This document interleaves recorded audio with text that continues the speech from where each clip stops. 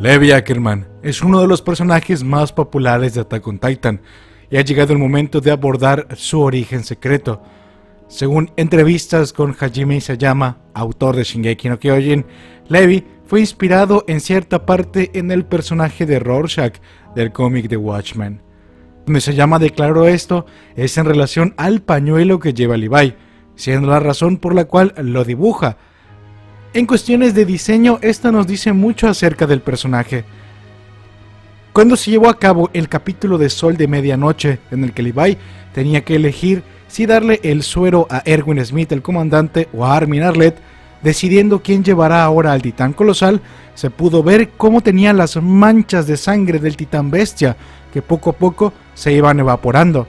Estas manchas lo asemejaban mucho más al personaje de Rorschach, Rorschach es una prueba psicológica en la cual se interpretan manchas, una serie de manchas, y la persona que las ve tiene que decir qué es lo que ve. Naturalmente, cada respuesta tiene cierto significado que el psicólogo interpretará. Así que, teniendo ese aspecto ambiguo en las manchas, muchas situaciones van más allá de lo que parecen ser a primera vista. Y eso es un elemento narrativo que comparte Attack on Titan y Watchmen. Origen. Te sorprenderá saber que ambos personajes tienen la misma historia de origen. Como te he dicho, Rorschach son estas manchas que deben de ser interpretadas. Cuando Walter Kovacs, la persona que se encuentra debajo de la máscara, es llevada a prisión, recibe esta prueba por parte de un psicólogo. Acá revisita su infancia, en la cual una de las manchas le hace recordar un sueño del cómic en el que ha visto a su madre con otros hombres no se sabe nada del padre de Walter Kovacs, y Rorschach creció con cierta visión un tanto retorcida de lo que era la unión sexual. Por lo tanto, al momento en el que el psicólogo le enseña estas manchas, lo que recuerda es primero a su madre con otro hombre durante su trabajo, también como ésta se comportaba agresiva cuando por accidente espantaba a los clientes, como es esta memoria en la que la interrumpe y recibe un gran regaño ya que el cliente solo ha pagado 5 dólares.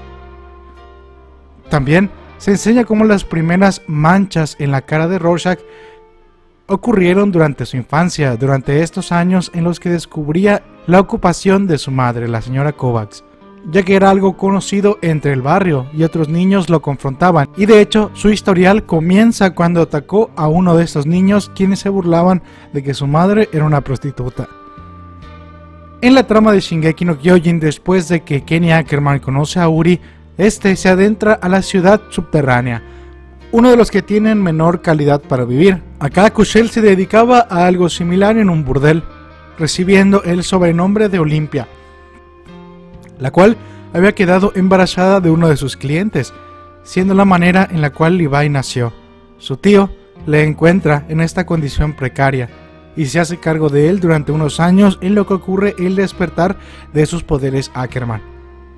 Esto es un elemento muy importante no solo visual y narrativamente, ya que el poder Ackerman cambia la composición del cerebro de la persona, dándole fuerza sobrehumana y tácticas de combate que nadie más posee. Algo similar terminaba ocurriendo con Rorschach. Walter terminaba abandonando su propia identidad a lo largo de toda su vida para convertirse finalmente en Rorschach. En mi video anterior mencionamos la similitud que existía entre lo que le pasó a Faye Jäger siendo devorada por los canes de un oficial marleyano, siendo el motivo por el que Grisha se uniría a los revivadores de Eldia, algo que el búho Eren Kruger conocía. Acá tenemos elementos que nos llevan directamente hacia la obra de Watchmen, comenzando con los canes y la niña devorada. Como expliqué en ese video que voy a dejar por acá, que es parte de un mega resumen, Walter Kovacs se transformó definitivamente en Rorschach al descubrir un horrible caso. Una niña que también había sido devorada por los perros. Acá él se daba cuenta que a los humanos se les juzga y a los perros se les sacrifica. Es decir, que hay crímenes horribles que no requieren de consideración.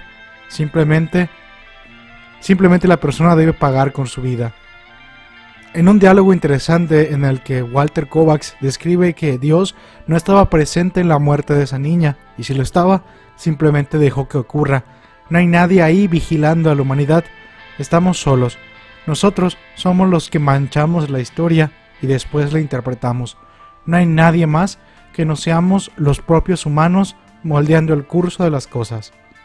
Hasta entonces, Walter describe fingir intentar ser Rorschach, pero desde ese punto ahora solo era Rorschach. La historia de origen de Rorschach también se ajusta al búho Eren Kruger, cuyos padres fueron quemados por la seguridad pública de Marley y que se identificó con la muerte de Faye escogiendo a Grisha como su sucesor, el titán de ataque, por lo que no solo Levi está conectado a ciertas referencias importantes, sino que terminan definiendo el propio rumbo de la obra, y es que también abordaremos las similitudes que tiene Erwin Smith en todo esto. En los primeros minutos de video, cuando Levi tenía que tomar la difícil decisión de escoger entre Erwin y Armin, es que resaltaba mucho más la similitud con el personaje de Rorschach debido a las manchas del titán bestial y también de todos los titanes que había transformado. Acá dice una frase muy importante cuando escoge a Erwin por encima de Armin. Escojo a quien salvará a la humanidad, lo cual no es un elemento menor. En el cómic de Watchmen, Ozymandias, cuyo parecido es un poco con Ergun Smith por lo rubio menemista, podríamos decirlo en manera simple, pero adentrándonos a algo más concreto, el hecho de ser el salvador de la humanidad es algo muy importante, ya que Eren, para convencer a Levi de que le ponga el suero a Armin, dice que muchas de las cosas que han ocurrido fueron gracias al intelecto de Armin, y que él será el verdadero salvador de la humanidad, no será ni el propio Eren con su poder del titán de ataque, ni Levi, ni nadie, será Armin. Acá se vienen unos cuantos spoilers de lo que es el final del cómic de Alan Moore y Dave Gibbons. Rorschach, desde la muerte de El Comediante, comienza una serie de investigaciones que apuntan a una gran conspiración derivada de la muerte de Edward Morgan Blake, el comediante uno de los diálogos más famosos de la obra de un hombre que se siente deprimido va al doctor y el doctor le recomienda ver al payaso Pagliacci para que se sienta bien, a lo que con más tristeza el hombre le responde que él es el payaso Pagliacci. En la cúspide de descubrir la verdad detrás de la conspiración de la muerte del comediante y del autoexilio del doctor Manhattan debido a ciertos problemas con sus exnovias, detonadas por creer que había contagiado de cáncer a muchísimas personas, algo que Rorschach termina investigando con un ilusionista conocido como Moloch, que está siendo víctima de ese mismo cáncer, aparentemente incurable. Moloch se había autodenominado como un villano que se enfrentaba a los vigilantes y sobre todo al Doctor Manhattan. Por lo tanto, era bastante curioso que él también tuviese ese cáncer. Moloch recibía correspondencia de Ozymandias, que es un personaje que se ha dado la labor de salvar a la humanidad. Durante el contexto del cómic que transcurre al finales de los 80 con las grandes tensiones derivadas de la Guerra Fría, para evitar una guerra nuclear entre Estados Unidos y la Unión Soviética, Ozymandias tienen que ejecutar un plan para unir ambas naciones y unir al mundo, evitar que se ataquen mutuamente utilizando la energía nuclear. Para ello, Osimandias termina sacrificando a millones de personas utilizando un ataque de bandera falsa, de lo que se le acusaba a Estados Unidos en el 9-11, por ejemplo, solo que inventando el ataque de un ser de otra dimensión, el cual traería la paz al mundo. La masacre provocada por este pulpo gigante que aparecería súbitamente en Nueva York definitivamente terminó cambiando el rumbo de la historia. Osimandias salvó a la humanidad, sacrificando a otros menos a él. Acá tenemos una diferencia con el personaje de Erwin, que durante todo el arco de El retorno a Shigansina se declara como egoísta, mirando esa montaña de cadáveres de todos los soldados que han muerto intentando averiguar la verdad y ofreciendo sus corazones. Acá ya no hablamos de similitudes tan grandes, pero sí, y de líneas paralelas, es decir, que nunca se tocan, pero que recorren el mismo camino. Erwin no termina siendo el salvador de la humanidad, pero se sacrifica con el resto para intentar lograr esa salvación. Con respecto al paralelo, es que ambos tienen el final diametralmente opuesto, sobre todo con respecto a quien sobrevive y quien no. Cuando Erwin habla acerca de sacrificarse con el resto, podemos ver una gran mancha roja producto de los proyectiles disparados por el titán bestial. Esta aura de rojo pesado es la sangre de los soldados que acaban de morir debido a los disparos incesantes de Sig Jagger. Erwin entiende la desesperada situación y cómo debe encarar él mismo su propio plan de sacrificarse. De lo contrario, nadie lo seguirá. Pero es muy importante recalcar que es su plan y que le deja todo en sus manos a Levi, que es otra frase fundamental de Watchmen. Dejo todo en tus manos. La mancha. Acá otro pequeño spoiler de la obra. Como ya pudiste ver, había una mancha roja que envolvía a Erwin y Levi, pues es lo que queda de Rorschach al final de los acontecimientos del cómic, con la finalidad de mantener la mentira de cómo ocurrió la aparición del pulpo calamar gigante que trajo la paz a la humanidad, tienen que silenciar a Rorschach, aunque ya ha dejado un diario, de lo cual ya hablaremos más adelante. Sin embargo, queda únicamente eso, una gran mancha como la mancha del test de Rorschach, asemejándose a una mariposa. ¿Qué es otro elemento clave? Erwin se lamenta de no conocer la verdad de su mundo, la verdad por la que su padre fue silenciado siendo asesinado, esa verdad que se encuentra en los diarios de Grisha Jäger. Como te he dicho, existía un diario de Rorschach que relataba todas sus perspectivas y pensamientos, así como también ciertos ejemplos como los del payaso Pagliacci. Antes de enfrentar a Ozymandias en la Antártica, lo termina enviando a una editorial de periódico, ya que presiente que su fin está cerca y su verdad debe de ser escuchada. Con respecto a Osimandias, parte de su discurso es dejar el heroísmo redundante e infantil que ha invadido muchas de las historias de cómics. Antes de sacrificarse para enfrentar al titán bestial, Erwin se pregunta si todo es parte de un sueño infantil que tiene, a lo que Levi le responde que no, que vaya con todos los soldados y los comande hacia el infierno, y es cuando se compromete a acabar con Sig Jäger, siendo su última promesa. Sig Jäger y el titán bestial. Como dijimos, Levi quedará manchado con su sangre como este test de Rorschach. El contexto es fundamental, ha creado un muro hecho de titanes puros como los colosales que se encuentran dormidos debajo de las murallas, siendo en parte una réplica, por decirlo así, a menor escala del retumbar de la Tierra. Este muro de titanes sería recorrido por Levi Ackerman, matando uno por uno, entre ellos al sello de voz de Armin Marina Inoue, para llegar hasta el titán bestial. Acá es cuando lo enfrenta en uno de los momentos más épicos y mejor conseguidos de toda la obra de Shingeki no Kyojin. Al hacerle múltiples cortes, mutilándole el brazo, los ojos, las piernas, etc., es que estas manchas de titán terminan ejemplificando la furia del despertar Ackerman y también la promesa que le ha hecho a Erwin Smith, sobre todo con el gran sacrificio de la mayoría de los miembros de la Legión, ya que de 200 solo quedarán 9 soldados y reclutas vivos.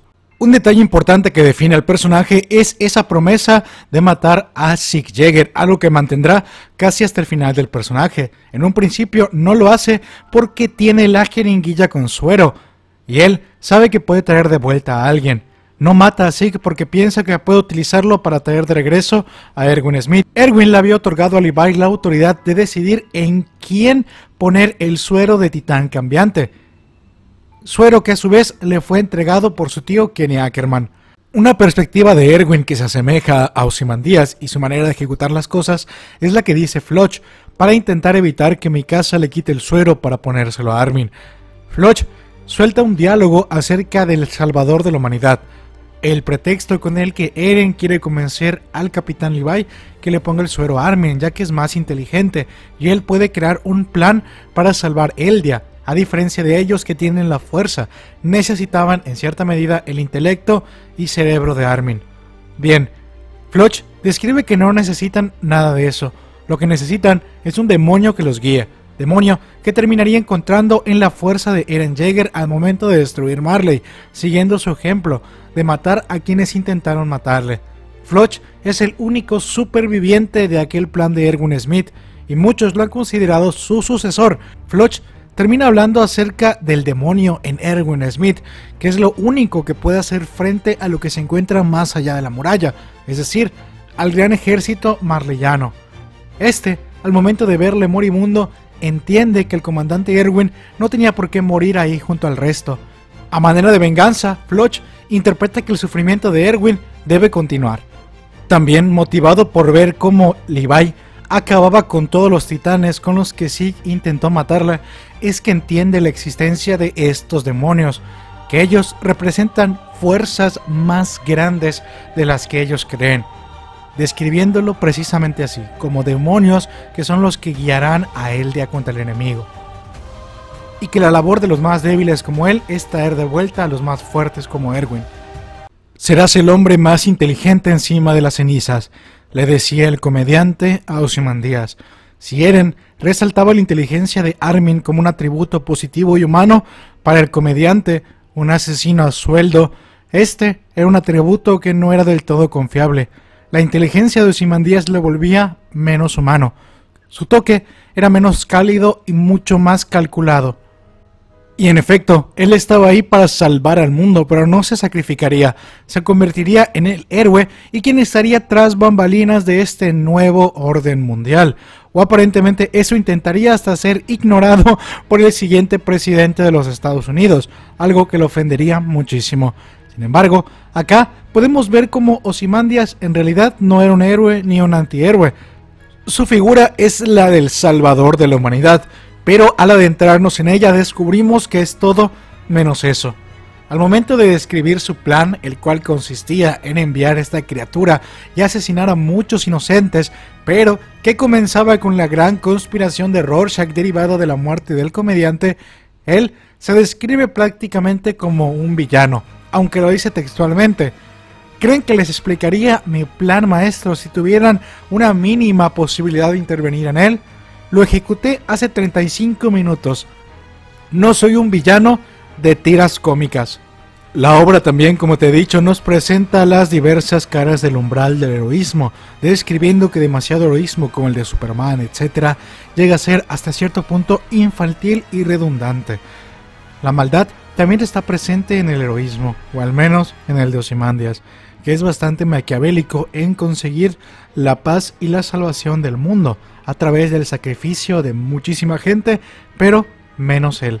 De cierta manera, no espera reconocimiento, pero el crédito tiene que ser suyo. A pesar que John, es decir, el Doctor Manhattan, no se encuentra de acuerdo con el actuar de Ozymandias y menos que él sea el salvador de la humanidad, termina dándose cuenta que su mal en realidad ha traído un bien mayor.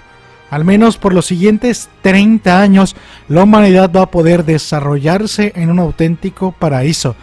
Y sobre todo se ha pagado un precio terrible. El hecho de que existe un precio por la paz del mundo lo hace auténticamente más terrible. Y es ahí donde nuevamente participa el personaje de Rorschach. Una vez se conoce la verdad del plan de Ozymandias y el sacrificio de millones de personas, todos están de acuerdo en callarse. El hecho de que piensen que realmente atacaron criaturas de otra dimensión hace que Estados Unidos y la Unión Soviética dejen de apuntar sus armas, pero Rorschach de alguna manera quiere informar de la verdad. Es ahí donde esa diferencia de intereses llevará a su muerte. Al momento de justificar su decisión, Levi dice que es por liberar a Erwin de ser un demonio, que la humanidad, o al menos la situación, le ha obligado a hacerlo, ya que él estaba convencido en un principio que el suero era para Erwin, pero termina recordando muchas cosas, entre ellas las últimas palabras de Kenny acerca de cómo todos somos esclavos de algo, y también el cómo Eren le recuerda el sueño de ver el océano, que es lo único que quiere ver Armin, algo con lo que él se termina identificando. Kenny le abandonó en la ciudad subterránea, como dijimos en un inicio, y Levi por la razón por la que se unió a la Legión de Reconocimiento fue para salir de esa posilga en la cual no se veía ni el cielo. Para Levi, el ver el cielo era como lo que Armin y Eren querían hacer con el océano, solo que Eren ya se había hasta cierto punto corrompido mucho, no quería ver el océano, de cierta manera solo tenía odio en la cabeza. Levi, al ver a Eren y hasta cierto punto su berrinche, termina identificando que tanto Erwin como Armin como Eren todos son como niños pataleando, gritando, chillando en el mundo. Hasta cierto punto tienen una visión infantil de lo que puede ocurrirle. O quizás hasta demasiado positiva. Erwin decía que no sabía qué hacer cuando llegue al sótano, mientras que Eren y Armin ya se idealizaban con los pescados y todo lo que había afuera. Una de sus mejores frases es que a pesar de que confía en su fuerza o en la de sus compañeros, nadie sabe cómo será el desenlace de las cosas. El final no suele ser piadoso. Al decantarse por Armin, quien termina obteniendo al titán colosal, este le explica a Floch quién quería de vuelta al demonio que ha liberado dicho demonio. Armin había descrito a Erwin como alguien que para enfrentarse a los monstruos, es decir, a los titanes cambiantes del enemigo, había tenido que destruir su propia humanidad para poder hacerles frente. Y era algo que Levi sabía sin dudas, que la humanidad de Erwin ya estaba destruida y era esclavo de haberla roto.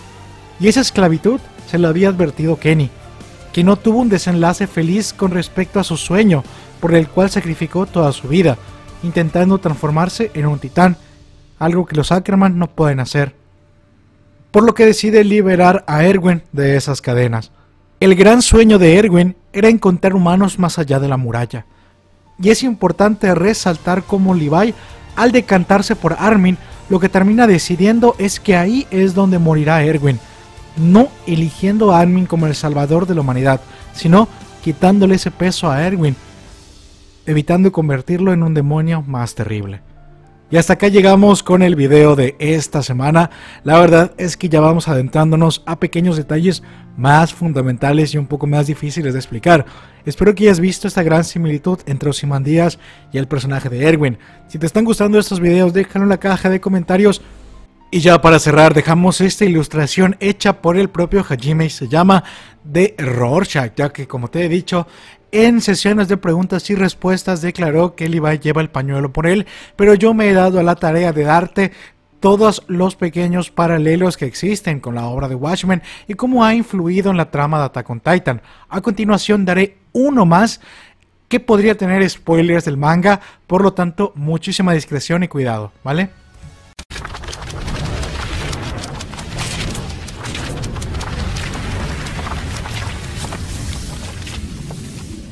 El final de Eren, como saben, el capítulo 138 del manga Un largo sueño nos presenta el momento en el que Mikasa le corta la cabeza e Ymir Fritz sonríe, aparentemente en este momento reflejándose en la bufanda y sentimientos de la Ackerman, aunque este beso también podría tener inspiración del cómic de Watchmen. El beso atómico es bastante importante y representa una de las manchas de Rorschach, aparece esta figura en varios elementos del cómic, pero la más importante, o al menos esta manifestación de beso, es cuando el búho, Daniel Dreiberg, se ve a sí mismo besando a Silk Spectre, o más bien a Lore, quien era el interés amoroso del Doctor Manhattan antes de autoexiliarse con el paso del tiempo. Después de ser abandonada por el Doctor Manhattan, Lori busca consuelo en su amistad con su ex compañero, el búho, llegando a desarrollar una relación sentimental hasta cierto punto prohibida. Esta relación solo termina de concretarse después que se ejecuta el plan de Ozymandias y ella entiende la verdadera naturaleza de John Osterman. También es parte de las últimas manchas que lleva Rorschach antes de morir y representa hasta cierto punto el fin del mundo o la aparición de este calamar gigante. De hecho, antes de ser borrado por el Doctor Manhattan, su máscara parece ejemplificar esta mancha del beso atómico que tienen Daniel Dreiberg y Sig Spectre. Han existido cómics derivados de Watchmen, en el cual se explica cómo posiblemente el Dr. Manhattan, utilizando su poder de ver el futuro, cambió la posibilidad de ser compañero de Rorschach, lo que le tocó al búho, e intercambiando para conocer a Silk Spectre, es decir, a Lori, por lo cual había manipulado la línea de tiempo y así desarrollado esta relación sentimental, que se acabó junto con el plan de Osimandias. Y pues bueno, hasta acá llegamos al final del video. Dime qué te parecieron todos los elementos de la obra. Muchas gracias por prestar atención y nos estamos viendo en los siguientes super resúmenes. Muchas gracias.